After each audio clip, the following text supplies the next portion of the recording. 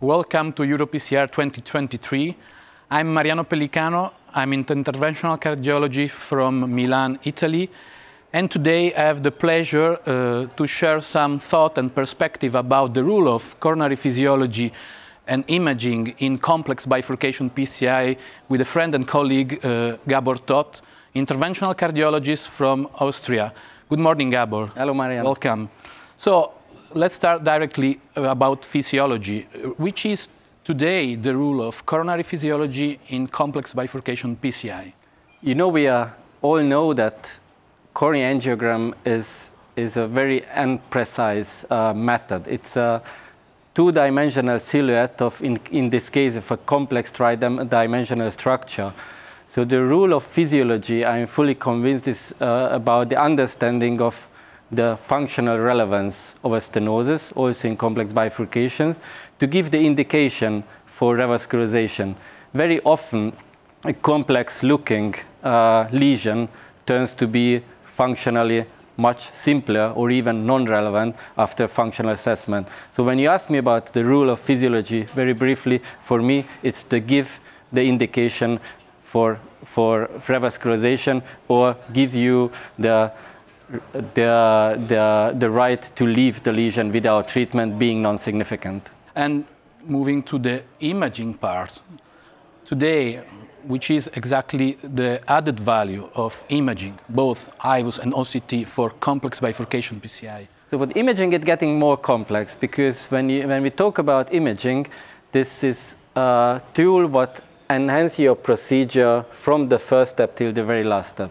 So in, as said, in this complex three-dimensional structure, there are several parameters what you need to assess, and you cannot really just rely on the, the two-dimensional inaccurate uh, uh, diagnostic angiogram. You want to understand what are the proper diameters in the different branches of this complex structure, what kind of plaque you are dealing with, is there calcification, there is no calcification, accordingly how you need to prepare uh, the lesion before that how long you have to treat this lesion where it ends, where, it, where it's a normal region to land. So to understand the anatomy, this is the first tool.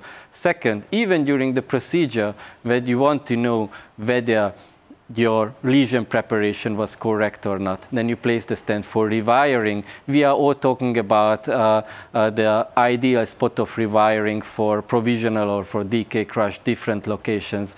You cannot rely purely on angiogram in many cases, so that intravascular imaging, when you're looking at the, at, at the stents and struts really there where they are. This gives you the accuracy to understand what you do. And finally, at the end, when you want to prove that you treated this complex structure in a proper manner, imaging will give you the answer. Stent opens nicely, stent apposed nicely, stent covers all the plaque side branches okay, no dissection. So these are, you use it before, during, and after imaging. Indeed, I definitely agree.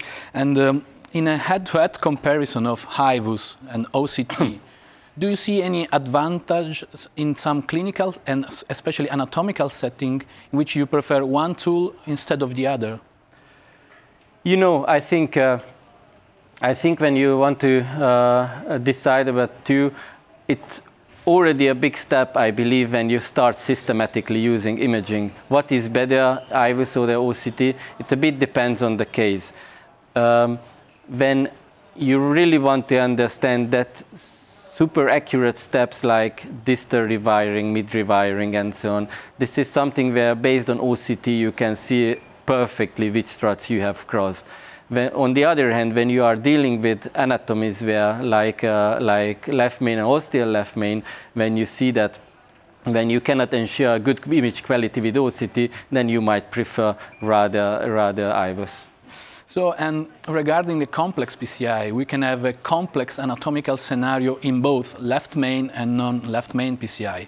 Which is your way to proceed with both imaging and physiology in uh, left main versus non-left main yeah. complex so, bifurcation? So again, complex bifurcations are complex per se.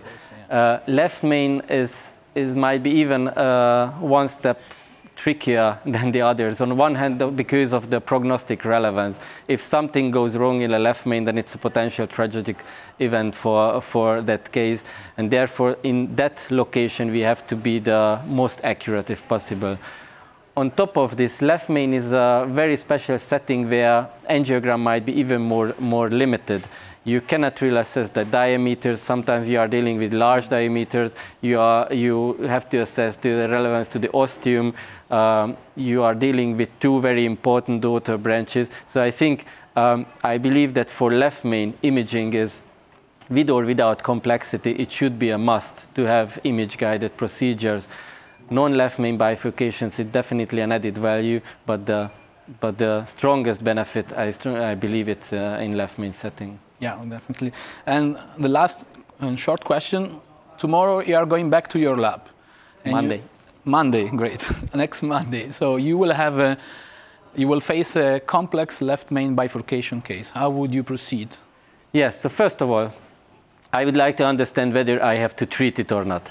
Yeah. So for that, I, I believe that the tool is uh, physiology. So physiologic assessment will give me the answer whether PCI is indicated or not.